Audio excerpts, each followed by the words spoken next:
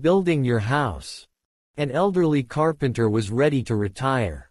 He told his employer contractor of his plans to leave the house building business to live a more leisurely life with his wife and enjoy his extended family. He would miss the paycheck each week, but he wanted to retire. They could get by. The contractor was sorry to see his good worker go and asked if he could build just one more house as a personal favor.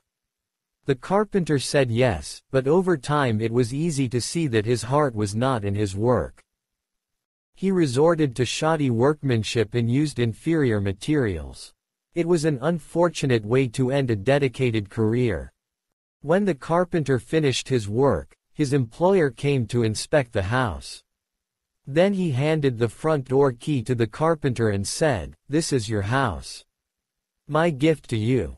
The carpenter was shocked. What a shame. If he had only known he was building his own house, he would have done it also differently. So it is with us. We build our lives, a day at a time, often putting less than our best into the building. Then, with a shock, we realize we have to live in the house we have built. If we could do it over, we would do it much differently. But, you cannot go back. You are the carpenter, and every day you hammer a nail, place a board, or erect a wall. Someone once said, life is a do-it-yourself project. Your attitude, and the choices you make today, helps build the house you will live in tomorrow. Therefore, build wisely.